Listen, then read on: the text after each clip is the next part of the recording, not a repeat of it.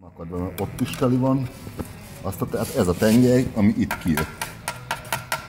Az összetört, és ott kit- kiszakította az oldalfalat? Nem, hogy összeakadt, ezt szépen elkezdte volna, hogy még fordította volna, csak hát nem bírta. Hát ott is végig hiányzik belőle az összesből a fog.